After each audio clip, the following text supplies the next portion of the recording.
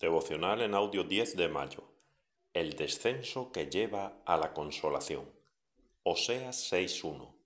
Venid y volvamos al Señor, porque Él arrebató y nos curará, hirió y nos vendará. Dios nos ha entregado a Cristo un almacén de tesoros celestiales, una perla de gran precio para enriquecernos y un libro de vida para avivarnos.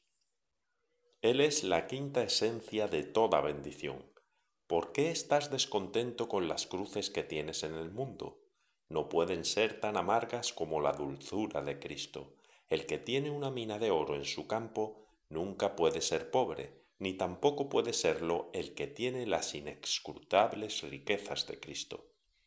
Esto es algo que debería acallar el corazón en las aflicciones. La gracia es el sello de su amor. Cuando Dios busca la mayor misericordia de cualquiera de su pueblo, lo hace descender en aflicción. Parece ir en contra del buen sentido y la razón, porque cuando quiere levantarnos a lo más alto, nos lleva a lo más bajo.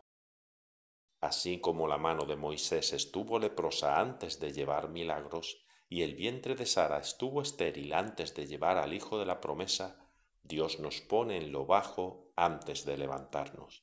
El agua está más baja antes de que haya una mayor afluencia en primavera cuando Dios iba a hacer entrar a Israel en Canaán, una tierra que fluía leche y miel, primero lo llevó a través del mar y del desierto.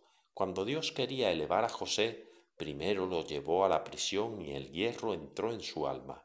Dios normalmente deja que todo esté en su punto más oscuro antes de que aparezca la estrella de la mañana que libera. Cuando Dios quiere elevar un alma al consuelo espiritual, primero la hace yacer abandonada en el suelo, así como el pintor pone primero los colores oscuros y luego el dorado, Dios primero pone el alma en oscuro abandono y luego aparece el dorado color de su consuelo.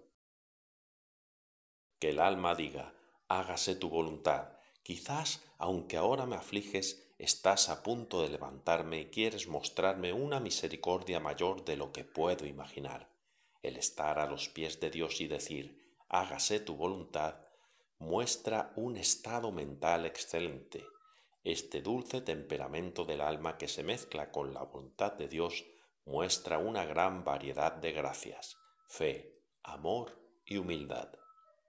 Traducido de un texto por Thomas Watson, que el Señor les bendiga.